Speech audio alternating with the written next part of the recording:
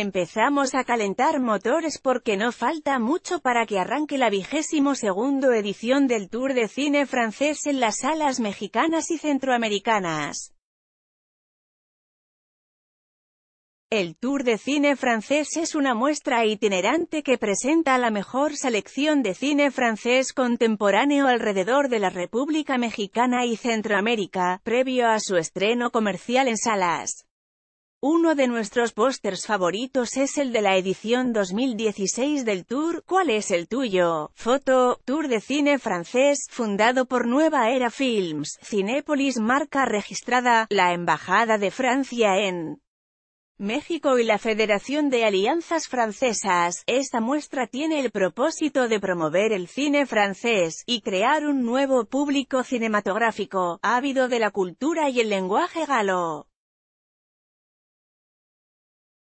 Cada película de las películas que se presentan a lo largo de dos semanas se exhiben en su lengua original, con subtítulos en español.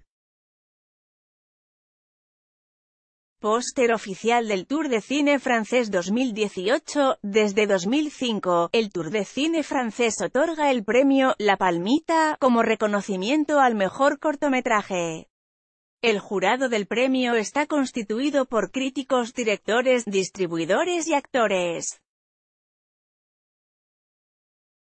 La Palmita se ha convertido en un importante impulso a nivel nacional, que permite al proyecto ganador darse a conocer internacionalmente con el apoyo necesario que la industria le puede ofrecer.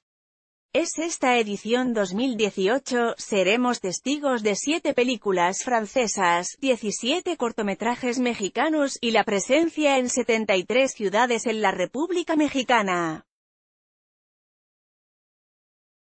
Ten paciencia pues el ciclo del tour arranca en septiembre. Mantente al tanto de la cartelera de los filmes que se proyectarán, pues muy pronto tendremos información, video, tour de cine francés vía YouTube podría interesarte, retrospectiva de Ingmar Berman en cines mexicanos es oficial, Joaquín Phoenix será el nuevo Joker los mejores memes del partido entre Francia y Bélgica Georiet Valentini correctora de estilo.